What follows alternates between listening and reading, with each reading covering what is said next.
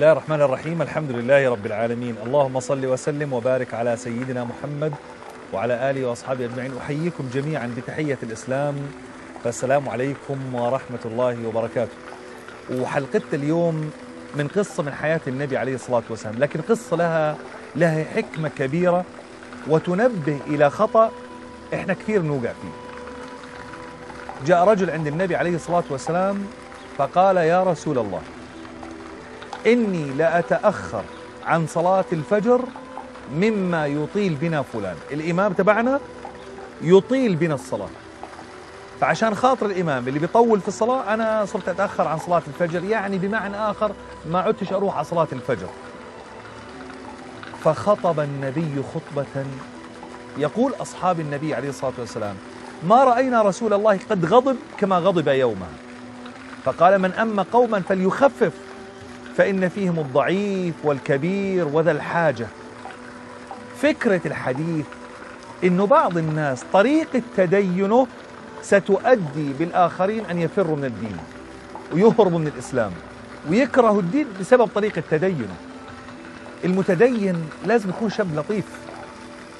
المتدين يجب أن تكون كلماته منتقاة تصرفاته مختارة رقيق ورفيق ورحيم ويكون حكيم. مش معنى أنا متدين معنى ذلك أني سأفرض سيطرتي على الناس. مش معنى أنه أنا متدين أن أكون فظا غليظ القلب. ولو كنت فظا غليظ القلب لانفضوا من حولك. النبي عليه الصلاة والسلام غضب. عندما علم أن الإمام الذي يطيل بالناس يجعل من المصلين ومن المقتدين يهربون من ذلك المسجد. مش إحنا كثير بنوقع فيها؟ مش إحنا اليوم بعض شباب المسلمين عندما يتدين يكون فظ وغليظ ويحاكم الناس يحكم على هذا أنه مبتدع وهذا فاسق وهذا ضال وهذا زنديق وهذا كافر. إحنا أطباء للبشر. إحنا أطباء. المسلم المتدين دوره في الحياة كدور الطبيب. الطبيب بيجي له واحد بيكون عامل حادث سير. ودمه وجروحه نازلة وحالته حالة ويتأوى ويئن ويصرخ. بيبدأ بالمريض بي بي يعني يطهر له الجرح يشيل عنه الدم يميط عنه الأذى بينظف له جرحه بخيط له جرحه بداوي له إياه وبيبدأ يرفع معنويات المريض حتى يشفى. ما فيش مريض يوم من الأيام راح عند الطبيب ومسك الطبيب ضربه قال له أنت ليش مرضت أنت ليش عملت حادث؟ مش وقته. يبدأ يعالج ويا فرحة الطبيب عندما يشفى المريض وعندما يبرأ المريض. يا فرحة الطبيب عندما تنجح العملية. يا فرحة الطبيب عندما يرى أن المريض الذي جاءه نايم على التخت ولا بجروه على عرباية ولا شايلينه على نقالة مرضى ولا حاملينه على نعش وإذا به يقف على رجليه ويبدأ الآن يمارس حياته يا فرحة الطبيب. إحنا نفس الشيء. أنت لما تشوف إنسان تعبان ولا تشوف إنسان مريض ولا تشوف إنسان مذنب هو مريض.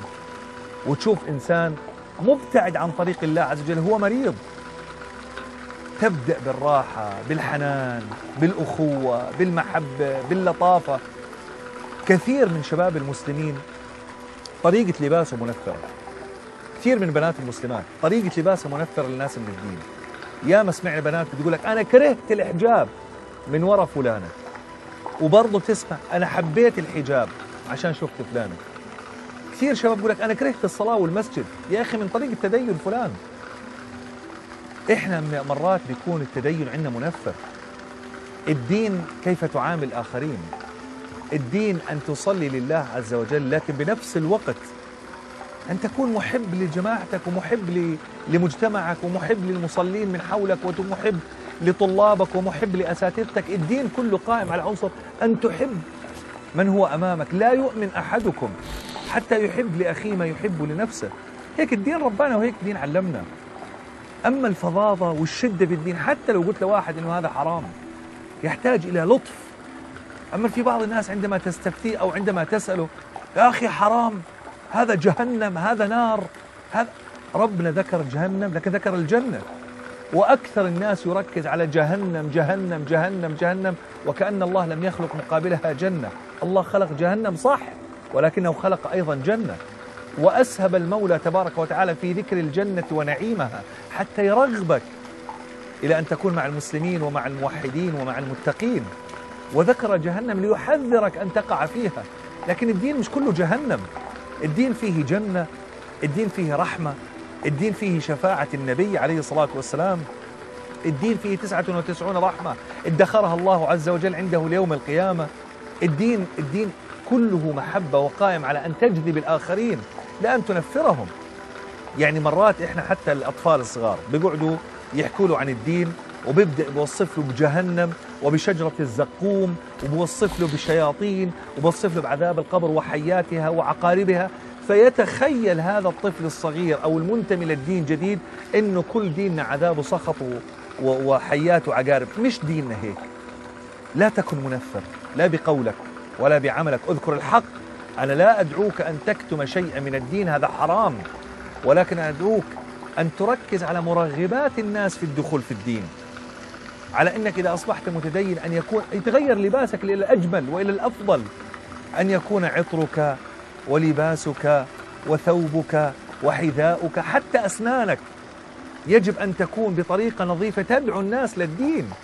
ومن ذلك يا إخواننا النبي عليه الصلاة والسلام يعني كان ما زال جبريل يوصيه بالسواك. طب هو الناس راح يسمعوا كلام النبي؟ أيوة يطلعوا على شكل النبي صلى الله عليه وسلم. عشان هيك يا إخواننا إياك تكون من الناس اللي بنفروا الناس من الإسلام ومن الدين بتصرفاته أو أعماله أو لباسه. ونكون كلنا دعاء إلى الله عز وجل.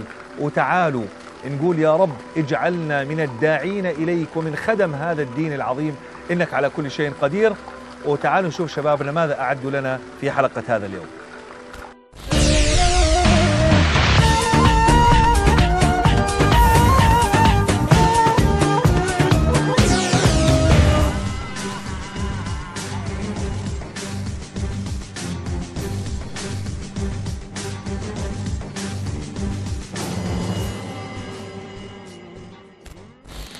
بترغبي الآخرين بالدين؟